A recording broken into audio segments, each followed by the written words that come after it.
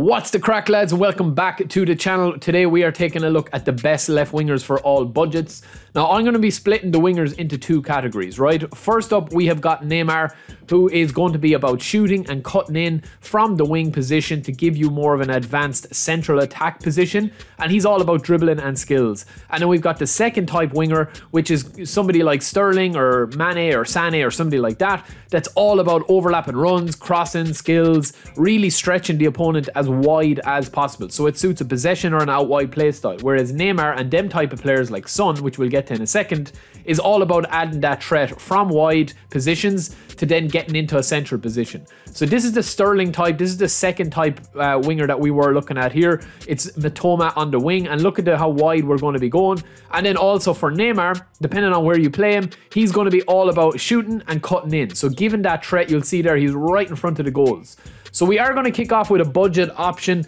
Artokoglu, sorry for the pronunciation, lads. This guy has got insane stats. He's really, really cheap. He's only about 18,000 and he trains up really well. He can play left wing or right wing. You're going to be using him as a dribble centric guy, right? So this is his maxed out rating. As you see here, very nice stats 87 dribbling, 94 acceleration, and 89 balance. A very good budget option if you are looking for a winger that is similar to Sterling that can kind of cut in and just have pure blistering pace.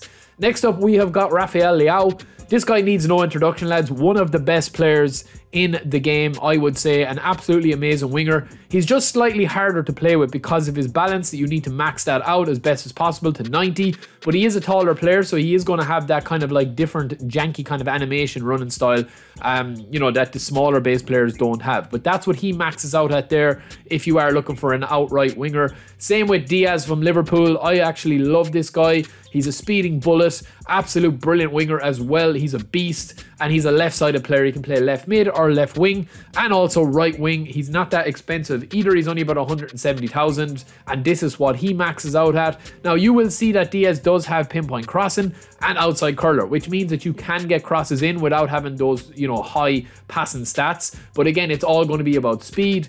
Coman is there as well. We have him because he's a super sub and he also has long range curler. So Coman is kind of a different type of player. We're going to be bringing him on as kind of like a Neymar light kind of player. He's cheaper obviously than Neymar. He's only 180k, but he can play any position on the left or right as a super sub. That's invaluable. We do have to pump in a couple into his team playstyle, but the rest of his stats are really good and he does have double touch and speeding bullet as well.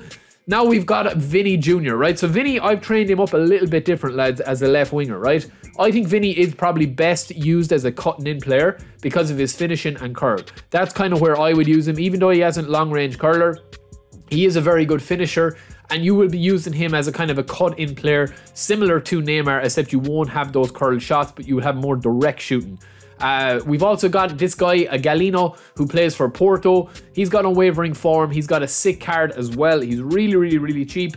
And of course, we're only going to be, you know, getting a couple of options for budgets here as well. So he's only 14,000, but he maxes out really nice. And I love his 90 dribbling, 96 acceleration, and 91 speed. So he doesn't really have much else stats or player skills um, than what you see here. But that pure blister and pace and acceleration to bring him on is invaluable.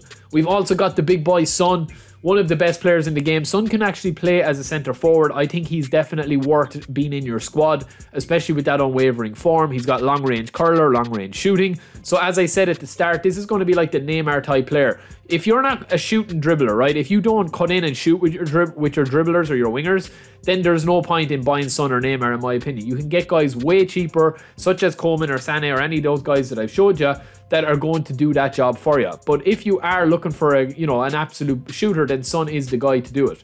Now Eze, this, this guy is an absolute monster, lads, as well. Eze, he is a beast on the wing. He can play any position on the left and he can play centre forward as well. He maxes out really, really, really well as a left midfielder but he can play as a winger and he's just all about pace and speed and power as well. Speeding bullet, amazing run as his AI styles, and also Sane. Sane is probably my favourite winger, outright winger. Obviously, we've got Dembele who'll feature in the right sided wingers. He's probably my favourite ever. But Sane is fast kind of approaching as the best left sided winger for me. He's just so strong on the ball.